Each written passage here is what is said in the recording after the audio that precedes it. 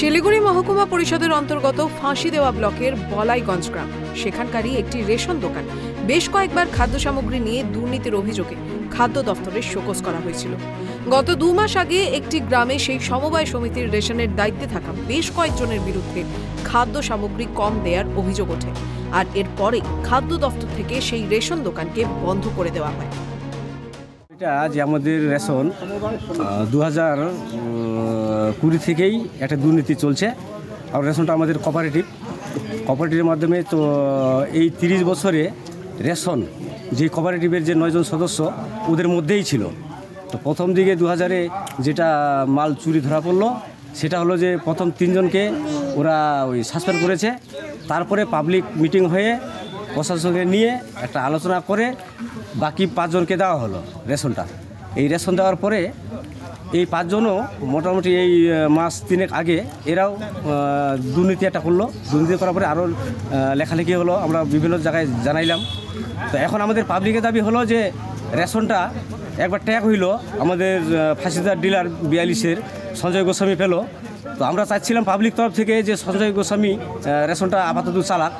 তো কীভাবে, যেইভাবে হোক আর কি আমাদের যে প্রেসিডেন্ট উনি কীভাবে ট্যাগটাকে তুলেছে জানি না, কিন্তু আমাদের পাবলিকের বক্তব্য, যেই গ্রুপটা বর্তমানে আছে, আমাদের কোপারেটিভের এই গ্রুপটা যেন রেশন না পায় বা রেশন দিতে না পারে হ্যাঁ আমাদের দাবি হলো যে অন্য কেউ রেশনটা দুক বা যেই ট্যাগের মাধ্যমে রেশনটা দিচ্ছিল সেই ডিলারকেই দুক। আমরা এইটাই চাই।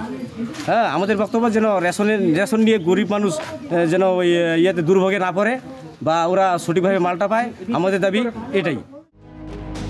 এই ঘটনার পর অন্য এক ডিলারকে দিয়ে দু মাস টেক করে হিসেব দিয়েছিল খাদ্য দপ্তর।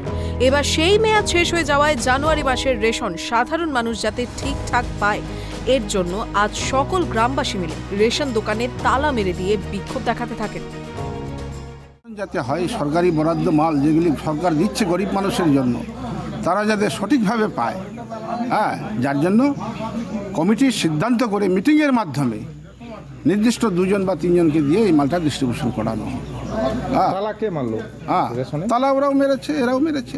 ওই ওদের গ্রুপের মধ্যেই। বিপক্ষে হ্যাঁ দুই পক্ষে হ্যাঁ ওদের গ্রুপের মধ্যেই। এখন আপনারা যারা? কোঅপারেটিভে আছে আমরা তার কোঅপারেটিভের মেম্বার নই। আপনারা আপনারা কি চাচ্ছেন এখন? আমরা চাচ্ছি ওকে ওর অপসারণ। দুর্নীতিগ্রস্ত ও বহুবার ধরা পড়ল। এ বিষয়ে বিভিন্ন জায়গায় লিখিত অভিযোগ দায়ের করেছেন গ্রামবাসীরা। পুনরায় আজ রেশন দোকান খুলতে এসে বিক্ষোভের মুখে পড়েন কেবল সিংহ। এ নিয়ে তিনি কি বললেন? শুনুন। এরা কারা তালা মারলো আমরা ঠিক বলতে পারছি না কিন্তু তালাটা এরা রাত্রে কি এরকম কোনো সময় ওরা মারে দিছে তালা। হ্যাঁ বলেন আর কি কেন মারলো তালা? তালাটা ওরা প্রথম তো আমরা যেটা বলতে চেয়েছিলাম যে এই এই ব্যাপার অনেকবার মিটিংয়ে ডাকা হলো সভাপতি হিসেবে আমি অনেকবার মিটিং ডেকেছি। ওরা কিন্তু মিটিংয়ে কোনোদিন আমাদের ইয়ে করে না অ্যাটেন্ডেন্স হয় না। তখন আমি বাধ্য হয়ে আমার সময় চলে যাচ্ছে। তখন একদিন আমরা ভীমাগঞ্জে প্রফুল্ল সিংয়ের বাড়িতে মিটিং করি। ওইখানে কিন্তু ওরা ছিল এবং প্রকাশ এবং রাজেশ ওরা রাজি হয়ে গেছিল যে হ্যাঁ আমরাই নিব। তো ঠিক আছে তোমরা নিবে চালাও। আমার কি আছে? আমি তো আমার বয়স হয়ে গেছে আমি এখন অত কিছু করতে পারব না। তো তোমরা করো। কিন্তু ওরা চার পাঁচ দিন সময় কেটে দিল। কিন্তু ওরা আর ওই টেকআপের যেই ক্ষয়ক্ষতি আছে ওটা ওরা দিতে চায় না। ওরা শুধু বলে যে আমরা চালাবো। এই চালাবো চালা করে বেশ কটা দিন কেটে দিল। তখন আমরা বাধ্য হলাম যে এই ইয়ার সঙ্গে অরবিন্দের সঙ্গে সহযোগিতা করে। অরবিন্দ তার এরা আগের পার্টি এরা আগের আমাদের আর হ্যাঁ রেশনের পার্টি। এবং তখন নয় জনের মধ্যে আমরা এখন পাঁচজন হয়ে গেছি। এখন এটা আমরা চাচ্ছি যে পাবলিকের পাবলিকের যে রিলিফ মাল এটা আমরা যেন যথাসময়ে বিলি বন্টন করতে পারি। কিন্তু আজকে ওরা তালা বন্ধ করে দিয়েছে। এটা তো ঠিক হয়নি। এদিকে গ্রামবাসীদের অভিযোগ, সমবায় সমিতির সভাপতি কেবল সিংহ।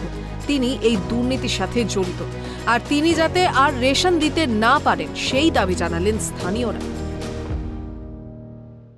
এখন আমরা তো এটাই চাই, ওর অপসারণ চাই, ওকে বাদ দিয়ে সিদ্ধান্ত করে নির্দিষ্ট দুজন বা তিনজন এই মালটা ডিস্ট্রিবিউট করুক। মানে যারা এতদিন করে আসছিল, তারাই করুক। তারা তো দুর্নীতিগ্রস্ত নয়। আগেরগুলি তো দুর্নীতিগ্রস্ত, ওদের তো সরিয়ে দেওয়া হয়েছিল। এটাই আমরা